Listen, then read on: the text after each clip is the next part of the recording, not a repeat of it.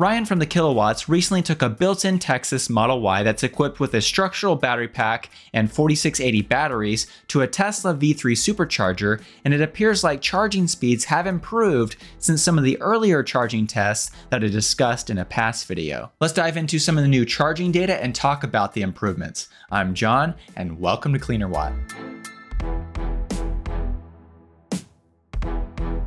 Earlier this month, Ryan from the Kilowatts took a Model Y equipped with 4680 batteries to a V3 supercharger and started charging at a 0% state of charge. According to this video that was posted on Twitter by the Kilowatts, the 4680 equipped Model Y was able to charge from 0% to 80% in an impressive 32 minutes. If you remember, that's actually a bit of an improvement over the past results that I talked about in a video last month. Last month on the YouTube channel Spoken Reviews, there was a video where they took their Austin built Model Y with 4680 batteries also to a Tesla V3 supercharger. And according to their results, they were able to charge from 9% to 80% in 34 minutes. So as you can see on this chart where I've taken that data, the kilowatts were able to go from a 0 to 80% state of charge in 32 minutes, and uh, it took longer for spoken reviews to go from a 9% to 80% charge, 34 minutes. So when you look at how many miles are being added per minute of charge, the new charging session by the kilowatt shows a little bit of an improvement. Now, once again, though, as a reminder, these charging speeds are still not quite on par with the 2170 equipped Tesla Model Y, the long range all wheel drive version. According to data from evdatabase.org, the long range all wheel drive Model Y equipped with 2170 batteries can go from a 10% to 80% state of charge in roughly 27 minutes.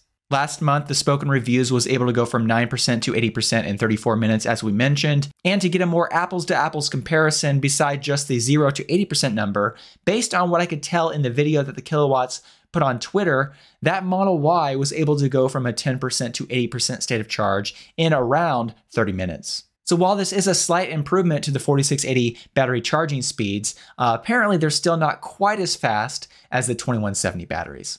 Once again, when it comes to how this compares to the competition, I pulled this chart from the 2022 Cleanerwatt Electric SUV Buyer's Guide. And as this chart shows, when it comes to miles being added per minute of charging, the 4680 equipped Model Y is bested by the Kia EV6, the Hyundai Ioniq 5, the 2170 equipped Model Y, the Model X, and possibly even the Cadillac Lyriq. Now, I don't know about you, but I also like to see charging curve charts when we talk about charging speeds. So I've taken this data once again. I've created a few charts for you to kind of demonstrate the two charging curve differences between 2170 batteries, the 4680 batteries, and then also uh, the earlier 4680 charging test and the current, uh, most recent 4680 uh, charging test by the kilowatts. This first chart is comparing the 2170 equipped long range all wheel drive Model Y charging curve there with the state of charge and the peak kilowatts, and comparing that to the spoken reviews test that was done last month on their Model Y with 4680 batteries.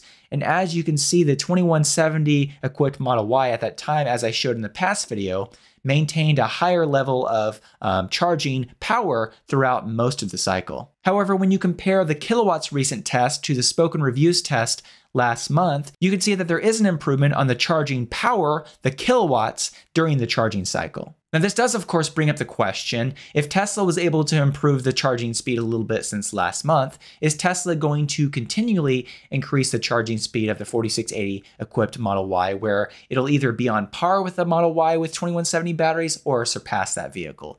Um, as I mentioned in the past video, it doesn't appear like the 4680 equipped Model Y will ever charge quicker than the 2170 equipped Model Y, at least for the foreseeable future, because that's what Tesla promised at Battery Day. As I showed in this chart in the last video, although Tesla's new 4680 battery technology does eliminate a lot of the problems with the battery diameter and slow charging speeds because of that, you can see that this chart does demonstrate a very slight increase in charging time based on a 21 millimeter battery to a 46 millimeter, um, even uh, their new tabless battery. So while I believe it's unlikely that in the future the 4680 equipped Model Y will charge faster than a 2170 equipped Model Y uh, based on what we know now, it does appear like Tesla will increase the charging speeds of their superchargers overall, which could lead to an increase of charging speeds for nearly all their vehicles, especially though the vehicles with larger batteries like the Tesla Cybertruck coming out hopefully next year. According to Sawyer Merritt on Twitter, he mentioned in January of 2022 that Tesla's superchargers in North America were going to get a charging speed bump to 324 kilowatts. And this was supposed to happen later this year, according to him. So that's an improvement for the V3 supercharging speeds, but also there's starting to be some talk about Tesla's V4 superchargers.